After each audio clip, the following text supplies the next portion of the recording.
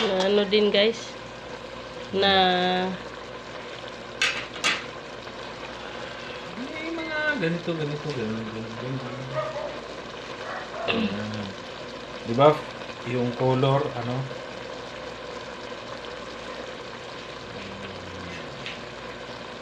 Meron na yan.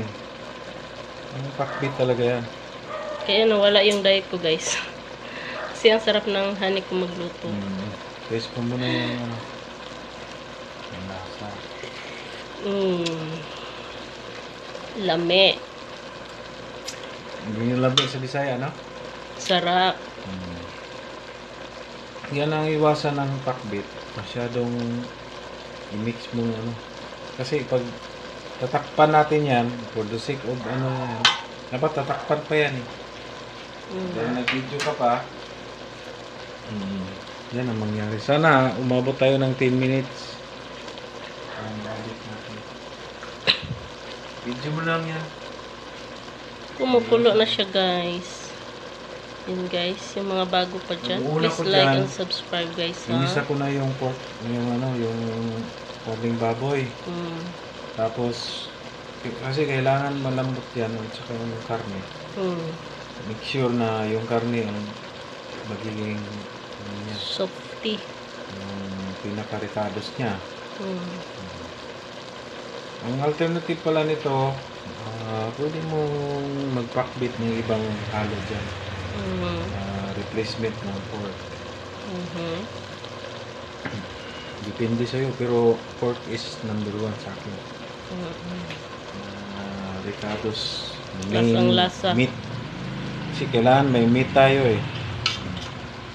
Pwede din mga ano, kung bawal sa inyo ang may karne, pwede lang wala. Yung shrimp, ah, yung alamang is yung ano mo yan. Tapos Pag bawal gulay din ang lang. alamang. Bawal ang alamang, pwede rin. Tuyo lang sa ano. At saka, pwede pala ito, number 2, isda. Mm. Eh, gisa mo lang yung isda, tapos lagyan mo ng ganito. Ah, sitaw, kalabasa, okra, ampalaya. Yan ang pinaka main ng ano, ng luto natin. So, dapat takpan man yan. Hindi ko lang tinakpan dahil nag-video pa si EBP. Mm, kailangan niya ng content at saka sige lang kung ganun din may ano pa naman. Ilang minuto na yan eh. Five. eh ano mo yan ng 10 minutes. Hmm, hanggang sa okay na yan para ma-edit natin um, yung ano. Huwag masyadong ganun guys ha. Eh, kung pwede retain lang yan kasi maano din masyadong malanta tapos ang pinaka ano natin dito last na ilagay is talong.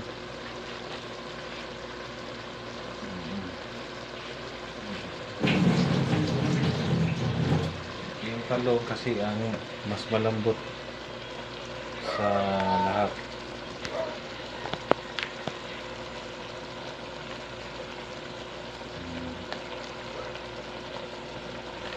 Ang daming Saka talong. vegetables yung ano natin. Maraming talong. Mas ano kasi maganda puro ano yan. Hmm. Pwede mo din lagyan ng tubig, konti. Sa ano, lagyan ko kasi na video. Baka matapos pa yung yung luto ko eh ilaw pa yung kailangan natin ng tubig para ma maano yung talong natin Mm. Sabuan niya guys. ang ginawa ko open man siya nilagyan ko na ng ng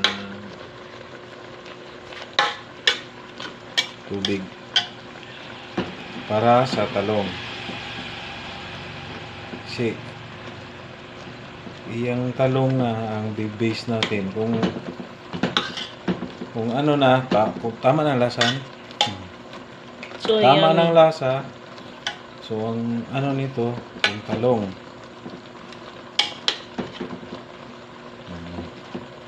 For the sake of the video lang, hindi ko na tinakpan, pero dapat takpan to. Para, ano.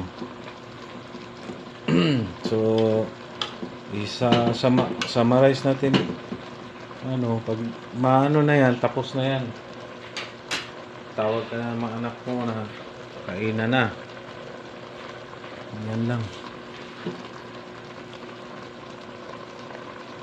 Dapat takpan man yan, ganyan. Ganyan.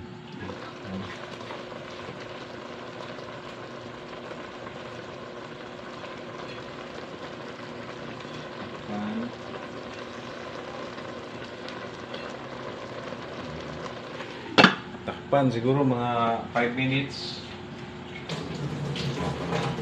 Ang purpose ng pagtakip, yung yung ano nila, yung tubig na nasa loob, mag-up man yung konti. Mm. At saka yung talong, pantay yung pagkaluto. Mm. Yan. Kaya tinakpan yan para ipakita ko sa inyo na, na dapat ganito ang gawin. O, tingnan mo, pag ah, natin, o, may tubig na, yung bumubukal.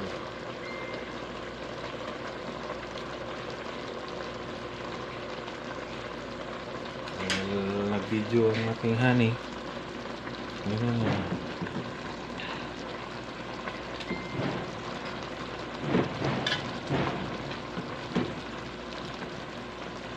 Tsaka hindi siya hindi pa siya marunong mag-edit. Pwede naman sana i-cut to tapos finished products na. Ilang minutes na? 9.45. Hmm.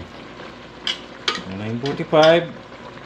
Sige, ah ito na yung ano, ah parang pag mag, mag ano na yung talong, tapos na yung pakbit natin.